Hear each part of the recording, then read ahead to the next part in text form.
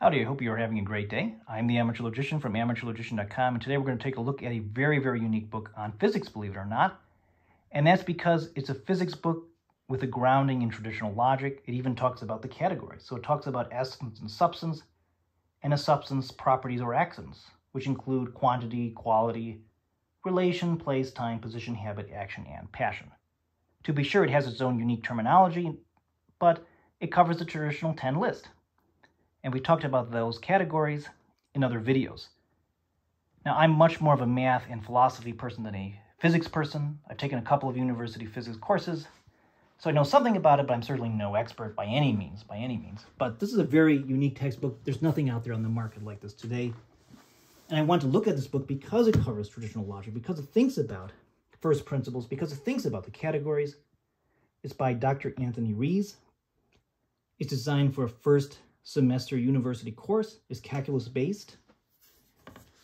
So let's look at the table of contents and then jump into the logic and philosophy. So it's physics for realists, mechanics, modern physics with a common sense grounding. What does it mean, common sense grounding? Well, it means that we have access to an intelligible universe around us. It takes a direct realist approach in epistemology. Our external senses allow us to observe things in the world and then through that observation, we can build mathematical models to describe many phenomena around them. So first, we have the table of contents. So the first chapter is on what is physics, and then it gets into vectors and calculus, momentum, changing momentum, force, energy and work, harmonic oscillators, angular momentum, gravity, it thinks about the possibility of a manned trip to Mars and the physics involved with that. And then the final chapter is Introduction to Special Relativity. It also has an appendix, at least a couple of appendices, which covers the 10 categories in philosophical depth and defends them in a very interesting way. So as I said, chapter one is what is physics? But notice that it thinks about, hey, how do we know physical things in the first place? Well, we know it through our senses and through abstract knowledge. And then things about fundamental principles. As may be expected, the foundational principles are very obvious and simple. They are one, things exist, two, things change. That's a big one. What is physics studying? It studies how things act, how things behave, how things change. It talks about velocity and acceleration. It talks about momentum. It talks about energy. So we better affirm that things indeed change, right? But also, if we're going to think logically about physics, we better embrace, according to Dr. Rizzi, the principle of non-contradiction. Namely, something cannot be and not be the same time in the same way. But also, we should embrace the principle of causality. Something cannot change itself. Something cannot give itself something it doesn't have. It can, however, act on, change other things according to what it is, but also we should embrace that there are substances out there and they have properties, or what has traditionally been called accidents. So some things, namely substances, exist of themselves, while others can only exist as aspects of a substance, call them properties. Then we get into the categories of properties, and this list should look very familiar if you've studied traditional logic or if you watch some of my other videos.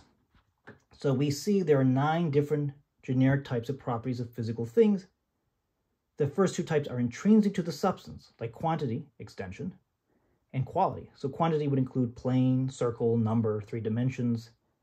Quality would include figure, color, hardness, pressure, hot, cold, tone, smells, and tastes. And the remaining categories are relative to another substance in some way. So we have relation, like equality, similarity, action, for example, heating, moving, reception, to be heated, to be moved, place, for example, a fish in a certain region of water in the tank. Orientation, the cylinder is rotated by 90 degrees. Environment, the water around a fish. Time, now, today, yesterday, a second from now. And then it elaborates upon that. So notice we have first and foremost the substance, and these nine categories are predicates of the substance. So without the substance, these categories wouldn't exist. We predicate these things of substances. That's the main point there. And then we have the so-called empiriometric method. This really traces back to Aristotle in a way, but that terminology actually comes from the great Thomist philosopher Jacques Maritain. And he has a book on epistemology um, on that subject. But it's a very, very complicated uh, book. Now, if we jump to the end of this textbook, we really, really jump to the end, we get to our appendices. So appendix one is on substance, the nine categories of properties. So again, we have substance and property. You think about change of the nine categories. And there's really a big philosophical argument that these categories are very important to, to think about, and these are real distinctions we can make. So this is a very unique book. But this is also pretty cool right here, some axiomization. So for example, definition one, a physical substance is a whole that exists of itself, and its characteristic property is its changeability. And then it gets into axiom one, which is self-evident.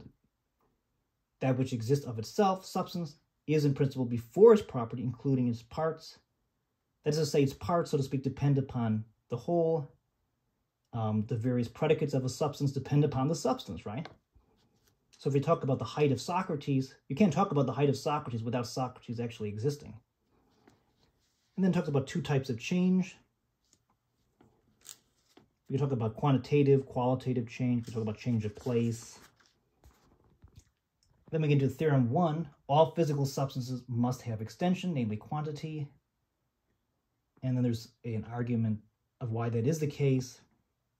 So it's a really interesting book, um, even for those who are not super interested in physics. But if you are interested in philosophy of nature, in ontology and metaphysics, in traditional logic. This is a good book, a good reference to have. So it's a very interesting book, as you can see. And this is really just a preview of this. So, I mean, if you're interested, um, we can go more in depth with this book. I wouldn't mind doing that because I think it's a really cool book to learn from. And there's so much to learn from Dr. Rizzi. I mean, obviously, really a brilliant, brilliant guy. And it's rare to have someone who is a physicist, but also who really thinks deeply about philosophical principles, first principles, a lot of times physicists just take for granted that kind of stuff. So this is just an overview. Um, look here, theorem six. All physical substances exist in time. So here's the argument for that. Change can only be understood as happening in time. It proceeds from point A to point B through some duration of time. Time is the measure of motion, but motion proceeds through a continuum of nows. They're inexorably linked, and then it elaborates upon that kind of argument there to defend that, that theorem. So yeah, I just really think this is a book, pardon, this is a cool book to have, cool reference to have, especially if you're interested in logic and philosophy. Because we should think logically and philosophically about physics, and a lot of people don't. It's a very unique textbook. It's physicist for realist.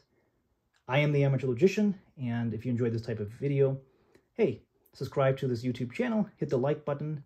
You can also visit my website at amateurlogician.com. I have an extensive tutorial on traditional verbal style logic.